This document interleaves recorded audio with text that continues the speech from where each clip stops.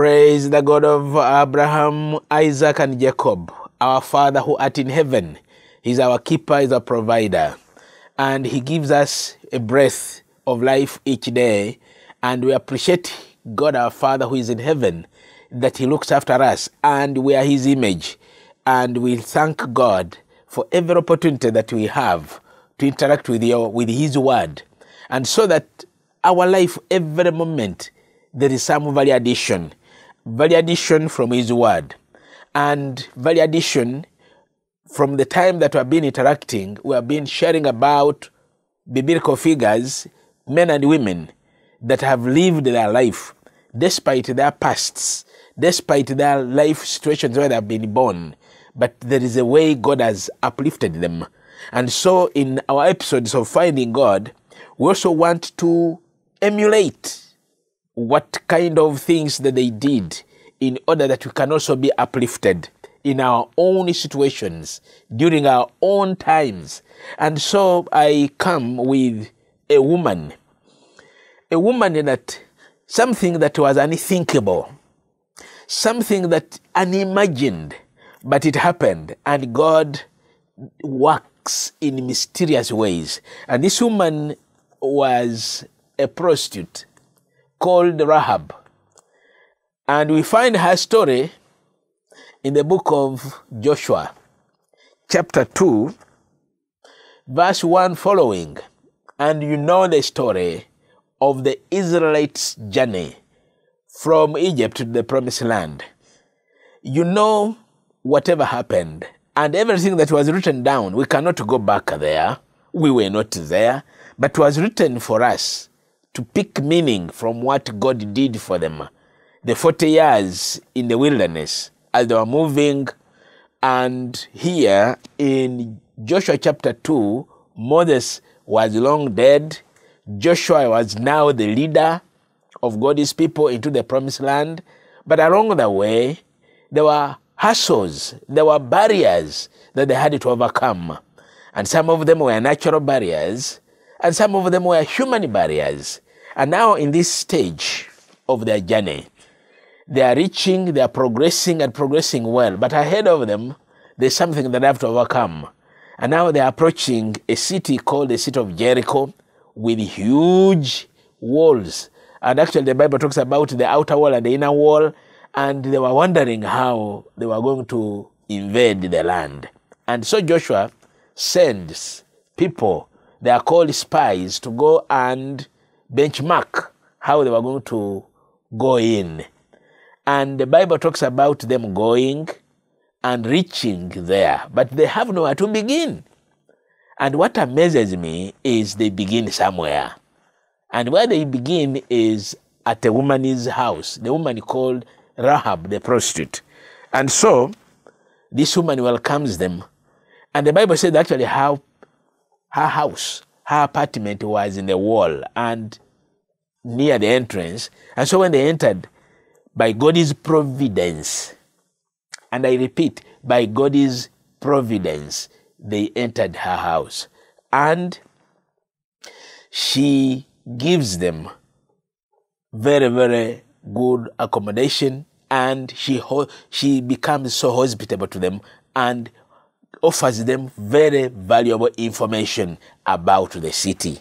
And so this Rahab, a prostitute, number one. Number two, meaning that she was a poor woman living in the outer wall of the city. When you read Joshua chapter 2, Joshua chapter 2, verses 1 following, she was a resident of Jericho.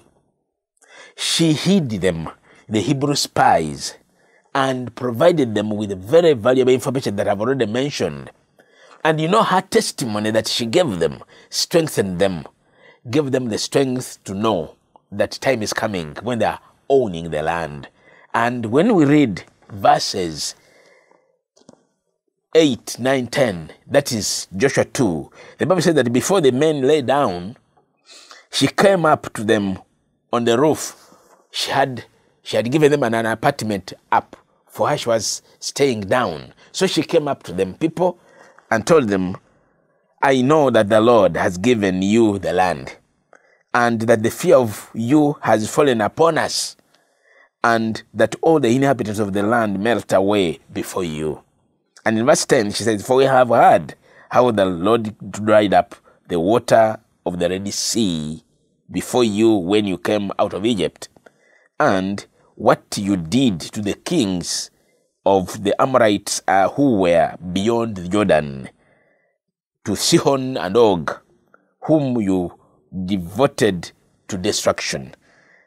And as soon as it was heard, our hearts melted. And you can continue reading on. Remember that actually this woman comes to the pro to the spies in the apartment, says, Listen to me. This is what has happened here. And so this prostitute, by God's uh, own making, becomes a very important information to the spies. And so, what happened in uh, Joshua chapter 6, following, I mean, chapter 6, verses 1 following, following, you read the fall of the city of Jericho, but she provided a very important information. Therefore, the prostitute was promised survival for herself and her family. And so, meaning that what she did in her crooked way, in her wicked way, she, the life that she had lived, God had pro- providently done something good.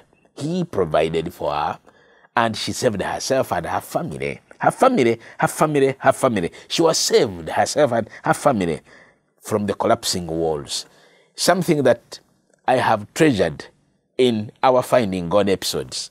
What did she do? How did she do it? And then God does that for her.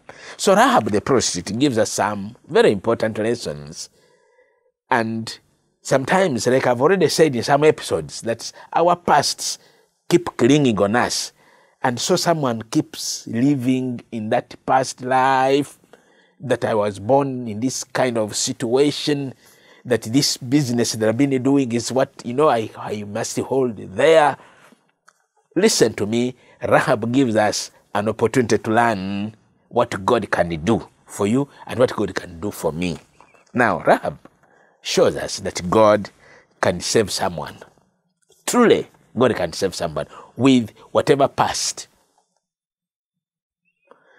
I treasured it, I looked at it, I've had it, I've seen it, that God can save.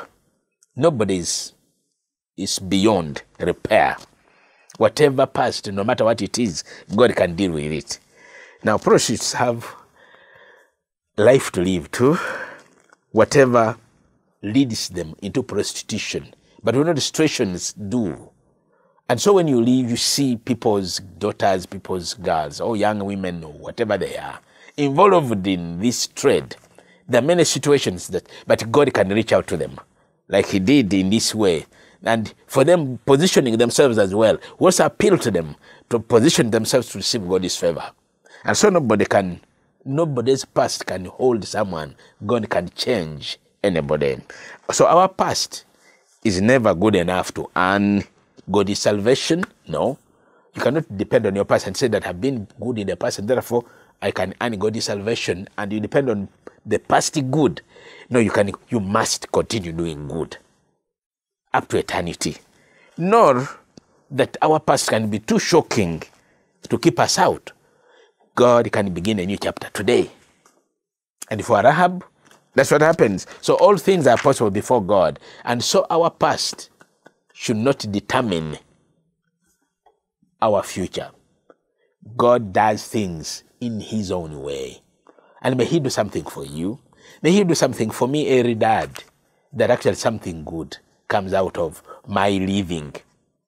Point number two is that actually God can use someone who has the past, like Rahab's past. God can use you, whichever past that you have, as long as you position yourself for transformation. Because actually, this woman, this woman is destiny changed. This woman is life changed immediately. She gave this testimony to the spies. Something changed. So God can use anyone as long as we're able to position ourselves, as long as you're able to position yourself. So God used Rahab in a mighty way, despite her past life that she had, prostitute, very degrading, very degrading trade. Degrading indeed. And look, she comes out in a mighty way and does something that the Israelites lived to remember. Rahab, she enabled the conquering of the city of, of Jericho. She gave them the story and that encouraged them to move on. So God shaped the character of the nation and even Rahab herself. And the Bible keeps talking about her as one of those people. Actually, when you read the gospel according to Matthew, she's one of the four ladies that are mentioned in the salvation history. And so Rahab, because of what she did, you know, she's mentioned among those that actually God, God, God used. And the Bible talks about her as the mother to a young man, to a gentleman called Boaz. And Boaz has a story that is very, very, you know, good story to learn. And we shall talk about Boaz as well, because he's one of the Bible characters that has lessons for us to learn. And so, what am I saying in this short time is that allow God to use you despite the past that you may be having. Allow God. Lady, allow God. Gentleman, allow God to use you despite your past. Just position yourself to begin afresh. Rahab position herself to begin afresh. Now, I also position myself to begin afresh from now again to move forward. And then number three that I want to mention is that actually God can redefine, can change your past. We have seen men and women, all the Bible characters that I've talked about, that we shall continue talking about, and in finding God, is actually God can redefine our past, can change our past. Rahab the harlot, Rahab the prostitute, to Rahab the mother of Boaz. Can you imagine? From the prostitute to the mother of Boaz. And from Boaz, you read on. And in Matthew chapter 1, verse 5, that they talk about the man called Solomon, the, you know, that had his son was Boaz by the woman called Rahab. And connections are that she comes in the lineage. And so they talk about, in this Matthew chapter 1, verse 5, uh, you read about this. It is um, by God's provision, by God's providence. When they're talking about the genealogy of Jesus Christ, she appears, and she's one of those that I mentioned about the women uh, that um, the, Bible, the Bible talks about, the four, uh, one uh, Ruth, uh, Tamar, um, this Rahab herself, and you see, God does great things. So, friends, God can redefine. And I'm believing that actually God is going to redefine me. And may He redefine you. May He change your past to become somebody. From the fallenness to chosenness. fallenness to chosenness. Okay. From a mess that she was, you've heard about these things. From a mess to a message that we're talking about now. From, you know, you have heard about from grass to grace, you know, and harlots, prostitutes are at the dregs of society. I mean, they are the lowest, you know, down there, degraded people. But God lifted Rahab. And so we pray that actually God will lift us. And as long as our hearts are positioned Godward, and I know Rahab's heart was positioned Godward. And so from shame to fame, this is something critical, and I'm taking it in the name of the Lord Jesus Christ. Take it in the name of the Lord Jesus Christ. That actually can God can transform your shame into fame from like Rahab is our is our is our district here. So important that Rahab shows us here that God saves us who have the past. I have my past. You have your past. God can transform that.